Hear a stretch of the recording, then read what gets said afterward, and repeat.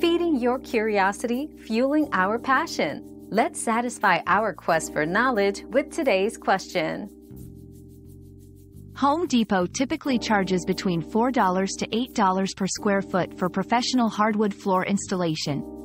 The exact cost depends on various factors such as the type of hardwood, the complexity of the job, and regional pricing differences.